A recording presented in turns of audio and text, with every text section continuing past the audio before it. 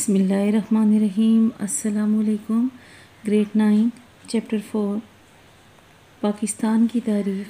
आज हम पढ़ेंगे माजरीन का मसला, पाकिस्तान की नई हकूमत। बच्चे, ये पाकिस्तान की नई हुकूमत उन्नीस सौ सैंतालीस की बात की जा रही है और आवाम को दूसरा बड़ा चैलेंज भारत से आए महाजरीन की आबादकारी का था कि उन्हें कैसे जो भारत से महाजरीन हिजरत करके आ रहे हैं, उन्हें पाकिस्तान में कैसे आबाद किया जाएगा या उनके लिए कैसे इंतज़ाम किए जाएँगे? हकूमत पाकिस्तान के एक अंदाजे के मुताबिक आबादी के इस तबादले तबादले का मतलब होता है एक जगह से दूसरी जगह जाना के नतीजे में कोई पैंसठ लाख महाजरीन पाकिस्तान हिजरत करके आए, जिसमें बावन लाख मशरकी पंजाब और इसकी रियासतों से हिजरत करके आए।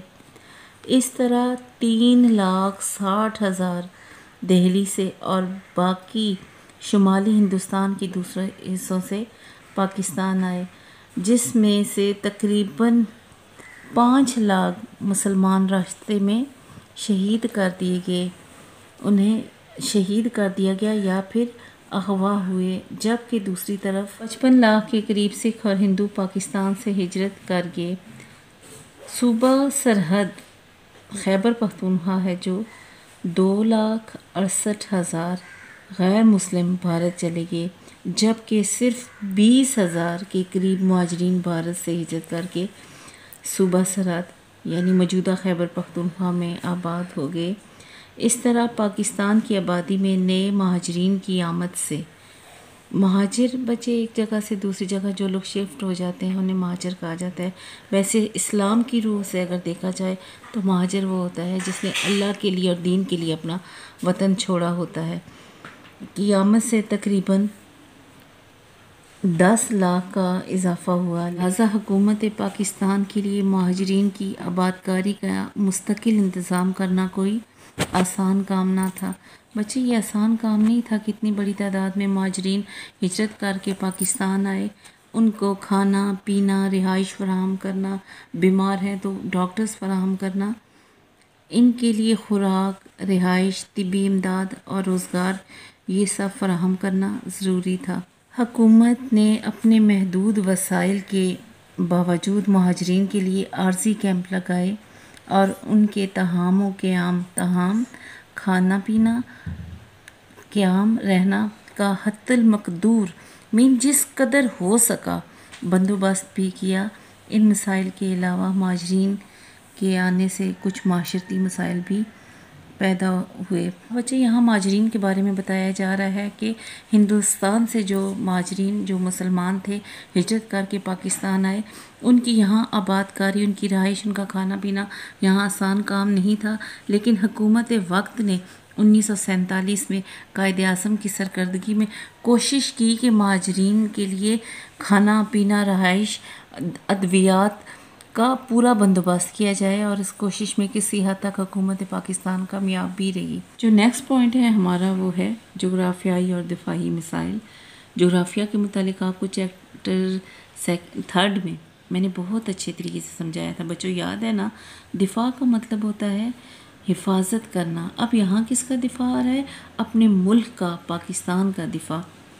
जोग्राफियाई लिहाज से पाकिस्तान को बड़ी अहमियत हासिल है।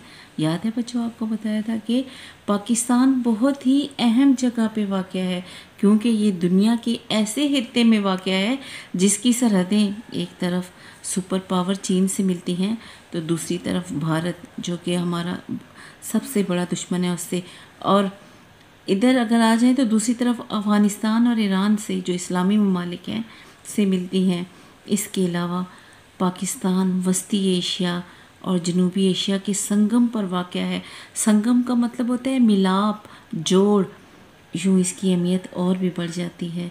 पाकिस्तान को पहले दिन से ही अपने सरहदों की दिफा की फ़िक्र लायक थी, क्योंकि मशरकी और मगरबी पाकिस्तान के दरमियान न सिर्फ़ 1600 किलोमीटर का फासला था बचे बांग्लादेश जो अब मशरकी पाकिस्तान बन चुका है और मगरबी पाकिस्तान हमारा पाकिस्तान है तो इन दोनों के दरमियान 1600 किलोमीटर 1600 किलोमीटर ये दूर था, बल्कि इन दोनों हिस्सों के दरमियान कौन सा मुल्क वाक़ था?